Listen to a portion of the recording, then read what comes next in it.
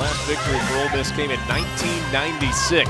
Thursday night in the SEC, Ole Miss 12 and 4 on the year, playing host to the 10 and 5 Tennessee Lady Vols. 28 straight wins for Tennessee. If you can't get fired up to play Tennessee in the SEC, if you're an Ole Miss fan, then you're not here for the right reasons.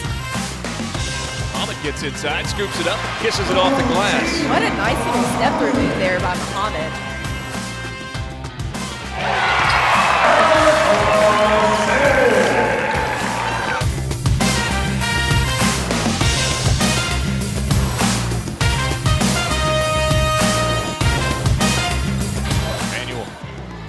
Spin move. sets him on the drive. Lays it up and in. We're riding a 28-game win streak in this series. Last victory for Ole Miss came in 1996. Taylor Manuel from 17 feet on the baseline.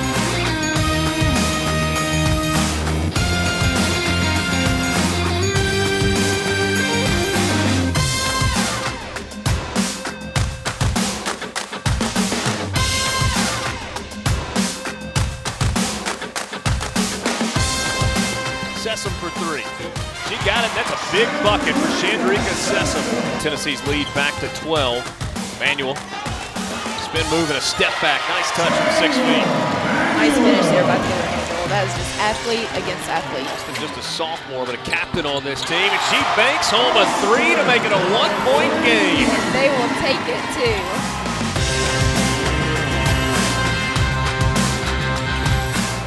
About that baseline jumper, works in, scoops it up off the glass.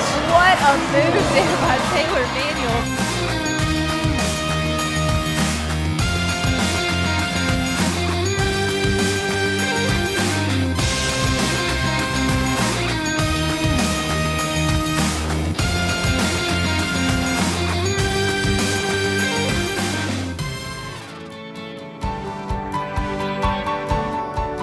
Now here, here she has a chance to make this a two-possession game for Ole Miss.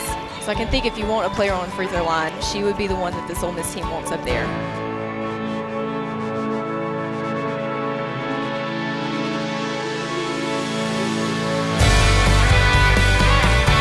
Ole Miss is going to beat the Tennessee Lady Vols.